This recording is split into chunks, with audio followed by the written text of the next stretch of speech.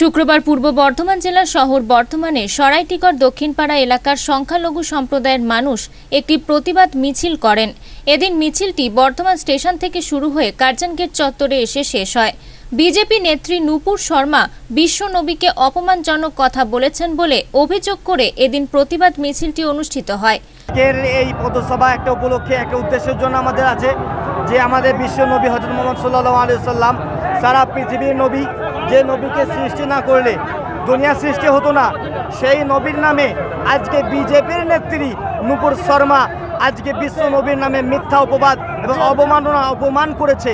তার জন্য আজকে কটুক্তি কথা বলেছে। উস্কানিমূলক কথা বলার কারণে আমরা সমস্ত মুসলমান এক হয়ে আজকে আমরা প্রতিবাদ করছি যে নূপুর শর্মাকে চব্বিশ ঘণ্টার ভিতরে আমাদের গ্রেপ্তার চাই। ফাঁসি চাই ফাঁসি চাই ফাঁসি চাই ফাঁসি চাই ফাঁসি চাই বিজেপি ফাঁসি চাই ফাঁসি চাই বিজেপি ফাঁসি চাই ফাঁসি চাই। বর্ধমান স্টেশন থেকে বর্ধমান করজন গেট পর্যন্ত আমাদের র্যালি হয়েছে। চব্বিশ ঘণ্টার মধ্যে গ্রেপ্তার করে তার ফাঁসি চাই। এর আগে মমতার একটা একটা নেত্রী সে বলেছিল যে সারা পশ্চিম বাংলার মানুষ মমতার উম্মত। নবী মোহাম্মদ সাল্লাম মিলে উল্টোপাল্টা কথা বলেছিল। তাকে ছেড়ে দেওয়া হলো। আজকে বলছে কিছুদিন পর আবার হবে। এইভাবে আমাদের হবে না। তার জন্য যতদিন মোদী সরকার এসছে আমাদের মুসলমানের জন্য বহুত অপমান করেছে যার যা ইচ্ছা করেছে। আর আমরা বাংলা মানুষকে বলতে চাই সারা পৃথিবীর মানুষকে বলতে চাই নিজের ধর্ম নিজের কাছে জাতি বর্ণ ধর্ম নির্বিশেষে আমরা ইসলাম ধর্মের মানুষ শান্তি বজায় রেখে আমরা বিক্ষোভ করছি। আজকে এই পর্যন্ত আমাদের বিক্ষোভ শেষ। আগামী রবিবার আবার আমাদের বিক্ষোভ বর্তমানে আজকে অনেক জায়গা থেকে আমাদের এসেছে।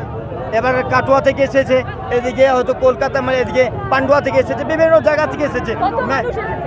কত মানুষ হবে তাও? প্রায় পাঁচ হাজার। হবে বহু চ- লম্বা চড়া মিছিল। কোনো সংগঠনের পক্ষ থেকে করা হলো? এরা জমিয়ত উলামা হিন্দ এবং অনেক অনেক রকমের সংগঠন আমাদের মিলে একজেস্ট হয়ে যত মুসলমান সংগঠন না এখানে যত মুসলমান আছে যত মুসলমান সব মুসলমান মিলে আমরা আন্দোলন করেছি। সমস্ত মুসলমান মিলে। মিছিলে অংশগ্রহণকারীরা কার্জন গেট চত্বরে বিজেপি নেত্রী নূপুর শর্মার কুশপুতুল দাহ করে প্রতিবাদ জানায়। বর্ধমান থেকে টিঙ্কু সাউয়ের রিপোর্ট আনন্দ বার্তা।